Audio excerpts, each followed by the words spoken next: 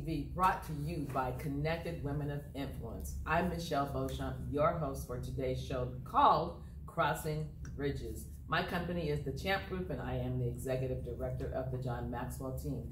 I'm excited to welcome our host, our guest today, Jackie Olivier, also known as Jackie O. Thank you, Michelle. Jackie, thank you so much for being here. Glad to be here. We have a great show today, and Jackie is the founder and owner of Moxxie. And so you see these wonderful products displayed on the table here. So, Jackie, let's start off by helping our audience understand what are these amazing products that you have on display here today. Okay, sure. I'm happy to, to explain.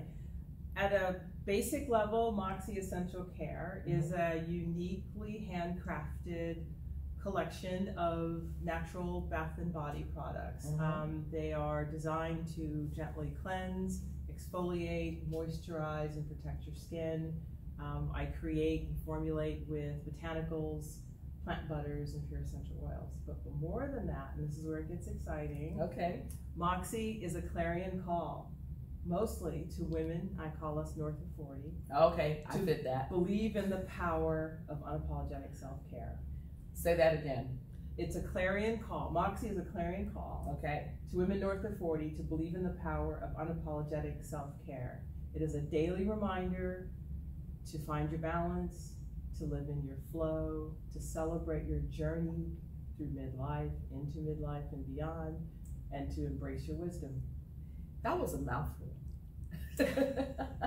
I so it's it. not just soap, right? It ain't just You soap. have it on your website. yes, It ain't yeah, just soap. right. It started out as with bars of soap, Mhm. um, expanded to the other products, and scrubs and creams and balms. Mm-hmm. But it also took on a different meaning. So it was not just get clean, Okay. and wasn't just get clean with safe ingredients. Okay. It was, you know what? When we clean and moisturize and protect, we're doing rituals of self care, and there's so much power in self care Uh huh. and, and what it does uh, for our, our well being. It's mind, body, whole body skin. Whole body skincare. Yes. And I love that you said it's unapologetic. yes. So what that means to me and to the audience out there is it is not only okay, but it is a good thing and important for us to take time out to take care of ourselves.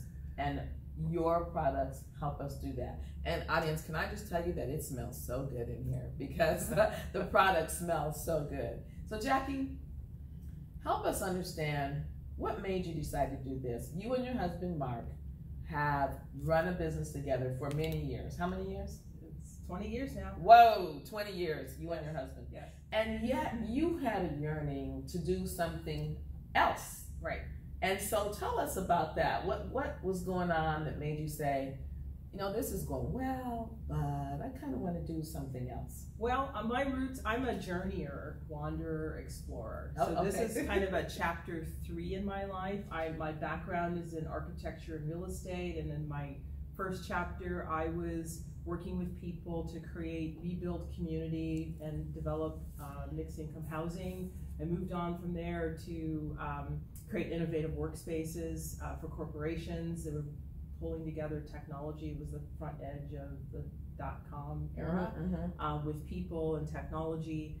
And as I moved from East Coast to the West Coast, I kept Mm. translating who I, what I was doing. Okay. The thread about that is me being a creator, me being an explorer, me loving um, to work with make things and to work with colors and light and fragrance. The soap came up almost accidentally but serendipitously Hmm. as um, as a as a uh, option for me um, after my chapter two of doing the business with Mark. So Okay. it came spontaneously, um, and I was captivated by what it takes to make soap. Okay. What what captivated? Just, What- I mean, just that, just ingredients. It's like cooking. it? Okay. You smell it, you feel it. You Mm. can't quite taste it, but you can you can embody the Oh, ingredients okay. of natural ingredient products. And at, at the, in the beginning, it was like, oh, I'm making soap, and that's really good. It's tactile. I can feel. I can do something. Mhm. Um, a little bit like the pottery that I used to do as well. So those are those are the kind of threads that we're going through. Over time, it evolved into wait a minute, this is more than just making soap. This is finding space for yourself. Mm-hmm. You know, in our private rituals of, of personal care, um, we can get more out of it.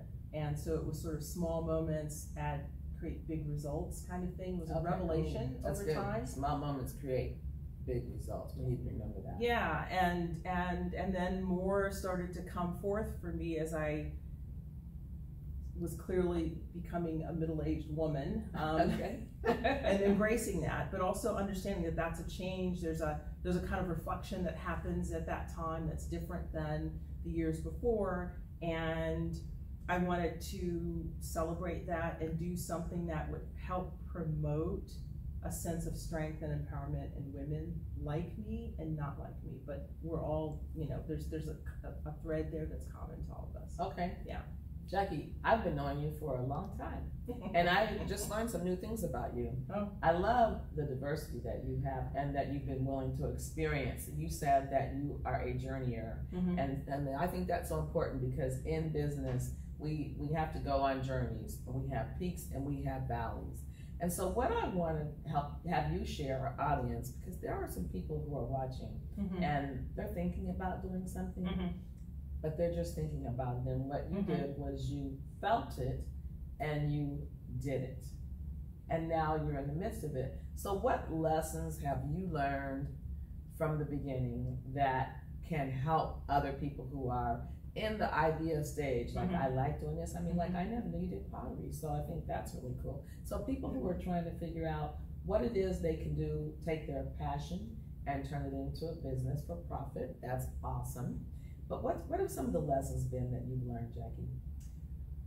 Um, and they keep unfolding. You okay? Right, right. They continue. right. Part of it was, and I mean, I have to say, first off, I'm the accidental entrepreneur. Okay. Okay, so this is not like I was born to Okay. be wild in You this just way. didn't always know this is what Yeah. I'm gonna be. Yeah. Okay. So, um, uh, but at some level, I think the thing I learned is that you have to trust in yourself. Mm, okay. It's it's it's there was something about doing this that has always felt like I needed to do it, that it was for me.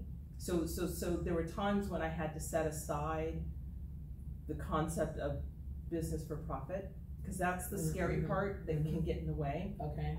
because you don't really know like well I, it, am I going to make a profit? How fast am I going to make a profit? Right. All- you, can get cluttered, and that's that be, can be an overwhelm. And it could stop you. Right. Okay. Right. So so I certainly think about those things, but I also have to forget about those things. Okay. And trust that if I'm doing something that feels right and has enough in it for me to get my arms around and Mhm. always be interested, that as I'm doing it, if I'm putting together something of value Okay. to others, Mm-hmm. that value, I will see that value come back to me. Mm. And I think I'm still on the path to getting there, and Mhm. it's a path that doesn't ever end. Um, but I think the lesson is that you have to believe that if you think it and want it, then it's the thing to do. Okay. So I think that's a good lesson. And so this program is called Crossing Bridges. Mm-hmm. So one bridge that you've crossed, it sounds to me, is that you recognize the value of profit, but what you recognize and are passionate about even more Mm-hmm. is understanding that when you have a product, which you have some wonderful products here, that you're creating value, and because of that, when you stay focused on that, the profit will come. Yeah, and I, I mean, I started out, I made some things, I needed to get it out there, so I did the, you know, the, the, the path of sign up for and get, you know, into farmers markets or to Mhm. events where you can stand there and see what people think. Uh huh. And, and I got enough over time, got enough feedback and got feedback from stores, um, that there was something there. So my, cu- so I, I had a, a small customer Right. feedback system right, um, that right. told me that it, the hard part is that it's, it can be very complicated to put together, you know, all of the elements of, you know, what are the ingredients, what what is this thing that you're making, and where do you get, how do you package it, and how do you tell people about it? That's Right. that's that's that's the ongoing challenge, particularly in a crowded um, industry like this. Right. I've always been impressed that you were willing to that di- dive deep into the business where there are a lot of products similar, but they're different, and that's what you said. And let's talk about that. Okay. How did you come about identifying things like the branding. I mean, you can you know that it's the woman who is north of forty, and Mhm. so you did a good job on clarifying your target audience, which I think is so key because we can't serve everybody. I mean, I realize that in my business, I can't say, well, everybody needs what I have. Well, okay, but who? let's hone in on that, and Yeah. you've been able to hone in Yeah. on that. So how did you how did you do that? Hone in on that, and then um, to tie in with that, your packaging is you you put a lot of thought and you did a lot of research on the packaging, which looks really nice. It looks like the the the image that you want to present. So help us understand what what what did you do to to make that happen? So I I sought the help of others. How smart is that? Okay. So I did. I, I, I went to SCORE. smart. I had Okay. um, a coach there for a while. Um, I, I went to others who um, were expert or had knowledge about branding, about packaging. I've used graphic designers. I've used branding experts. and- Okay. and I put, but I had to, along the way, the things, kind of things I've learned is that you don't just hand over stuff to mm. people and expect them to give you the answers. It's, it's really an integrated effort and you Okay. have to give them enough understanding of what's, what you're thinking, where you're going, what you're going for, and it starts to uncover itself. So it was not all like, overnight, I came up with this, or Okay. overnight, I mean, unapologetic self-care was just the last couple of years. Oh, And it was an evolution of, I can make soap, everybody uses soap. Right. So I can sell soap to somebody, Okay. right? Because everybody uses soap, and it's Right. really good because they use it every day. Right, So it's hopefully. consumable, you know, kind of thing. Right. Right. To Right. like that doesn't really cut it. To I can make soap. I'm using good ingredients. I like that. That comes from me.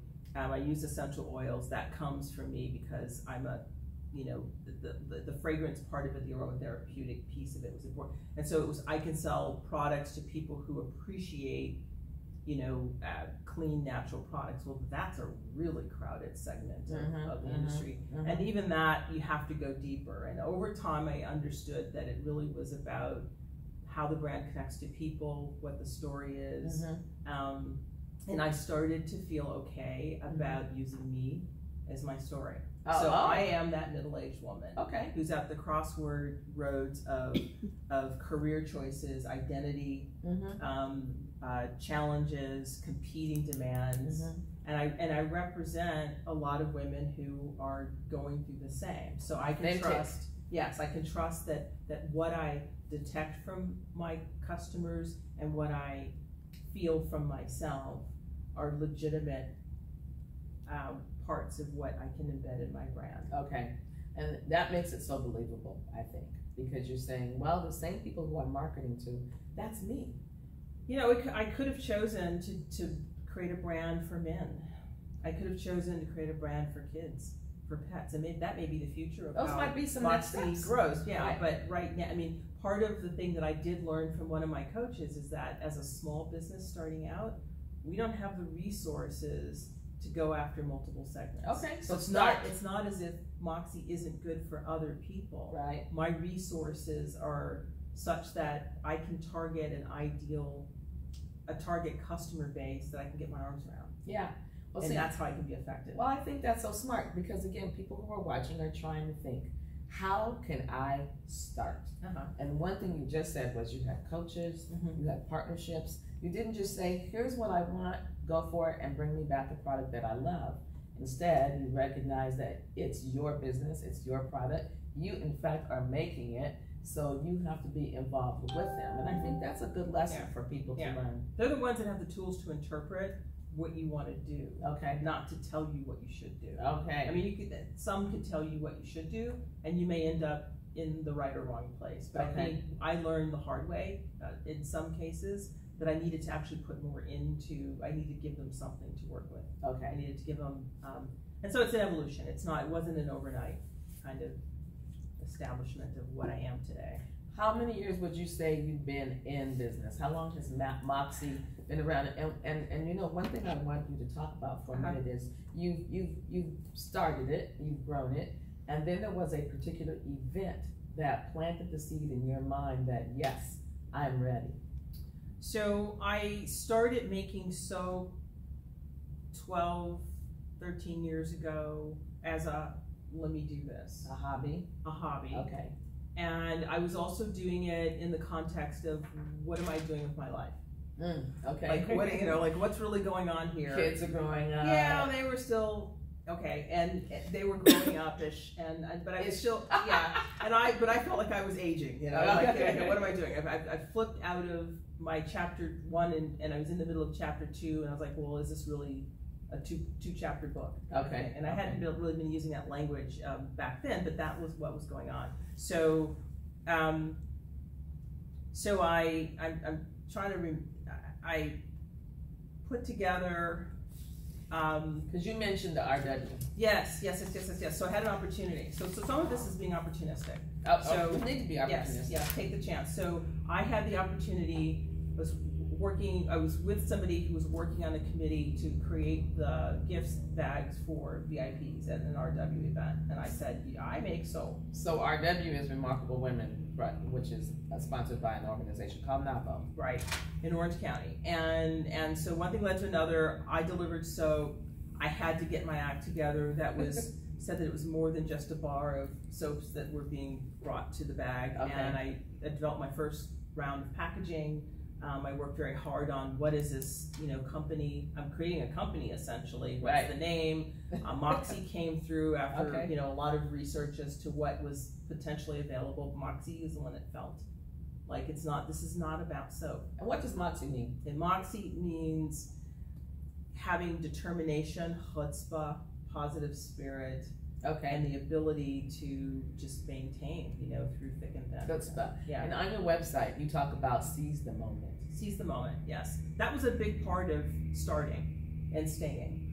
Okay, and there's a difference right? starting and staying. Yes. Okay. So you seize the moment, you go, mm, I'm going to do this. Okay. Um, seize the moment in the face of, like, I'm not sure I could do this. No, I can do this. Okay. Seize the moment Okay. using the products. So the doubt comes, but then you Yeah. remember the purpose, remember your why, Yes. and then you keep moving forward. Right. Okay. Right. And for me, it was important to do something that was in, that reflected me. I Okay. needed that. You needed that, okay? Yes. Because you said your kids were getting older. Who am I? What chapter am I in? Is there going to be a chapter three? If so, what's it look like? Feel like? Mm -hmm. So, Jackie, one other thing I want to ask you about too. Well, Sure. two other things. So, the first one is on your website. What I like, it talks about staying in the flow, and I heard you say that today. Mhm. And so, when you go through your peaks and valleys, what keeps you? And you're busy because you do production, marketing, branding. I am amazed that you do it all. You and I had the opportunity a couple years ago to do 39 mile walk for Avon. Yes. And so we did a lot of training together and a lot of walking together. Right. I don't know how you had time to do all that. But how so how did you stay in the flow and how do you stay So in I flow? move in and out of the flow. I try to walk the talk. I mean, this is a challenge for me as well to, Uh-huh. to, to believe in the power of unapologetic self Uh, okay. So, um, and part of how Moxxie has evolved, it's been incubated a lot. hmm It's um, I call it crock pot cooking versus microwave. There you so go. it'll be super delicious. Ah. Um, and I have to remind myself that I'm not in a race against oh, whomever I want to compare myself to. that's good. And that somehow I'm going to move through this the way I need to move through this, and Moxxie's going to evolve and present itself in all its glory, the way it should. I believe that. Jackie, people want to know where can they get this product? I love it. It smells so good. I love all your fragrances. You know, I love the rosemary lavender, the eucalyptus, the lemongrass. She has such good fragrances. And her lotion, by the way, Jackie, it's nice because it's thicker. Some lotions are too thin. Yours Yes, has a good yes. texture. So I would So- call it the body cream. Yes, yes, cream, right? Because it's not thin. And the scrub. So everything that you have is awesome. Thank you. And and other people want to know how they can get it. Okay, Moxxie is online at Moxxie, M O X X I E, soap.com. Say that again. Moxxie, M O X X I E, soap.com. MoxxieSoap.com. Okay. So, Jackie, is there anything? What's the next bridge for you to cross? Um, the next bridge, our next challenge is scaling. Okay. Scaling, um, expanding our distribution. We are in stores across the country. Congratulations. Thank you, thank you. Um, that's been a real interesting journey and continues to be. And um, we want to grow more online. Um, uh, and so, so that whole expansion scaling piece. Okay, so scaling is the next Yes. bridge across. Yep. So Moxxie, M O X X I E soap.com. Yes. Jackie, thank you so much for saying yes. Thank you for having me. Thank you for being our leading lady today. We will see you next time on the connect on the program brought to you by Connected Women of Influence, Women Lead TV. See you next time.